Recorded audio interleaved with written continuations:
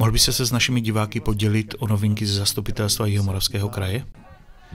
Tak eh, kromě toho, že jsme tam řešili velice důležité téma, snad se to konečně zásadně posunulo, to je R43, opravdu palčivý dopravní problém, tak eh, by neměla pozornosti uniknout do vlastně taková závěrečná záležitost, podnět eh, kolegy Stanislava Juránka, ohledně toho, aby na Jižní Moravu, do Jihomoravského kraje se přesunula linka na výrobu nanoroušek, která je zdarma darem z Tajvanu.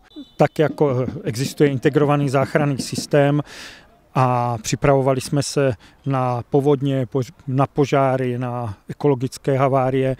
Musíme být připraveni i na to, abychom pomáhali lidem v době koronaviru nebo jiných pandemií, které mohou přijít.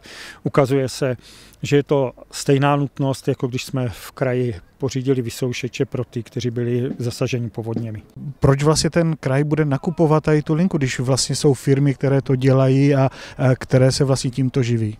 Eh, jednak musí být ta linka certifikovaná a jednak eh, to, že jsme schválili tento záměr, nám umožňuje, abychom požádali o dar z Tajvanu, který věnuje České republice pět takovýchto linek.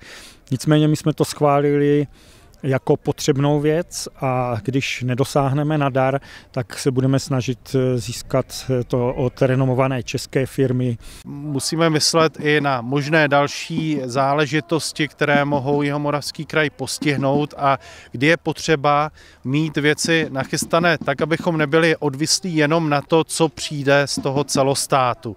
Protože jak bylo na jaře eh, vidět, tak eh, vlastně některé věci vázly, takže tak, jak jsou ty eh, hmotné státní rezervy, eh, tak i kraje by měly být připraveni tak, aby lépe zvládali tu situaci a jeho moravský kraj jako jeden eh, z největších, nejlidnatějších, prostě důležitý kraj, tak musí tady v tomto jít určitě příkladem. Jakým způsobem chcete vlastně potom ty roušky distribuovat mezi lidi?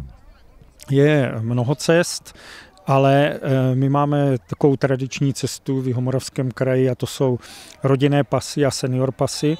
Máme také místa senior pointy, to znamená na těchto místech a samozřejmě v lékárnách, které jsou spojeny s nemocnicemi Jihomoravského kraje.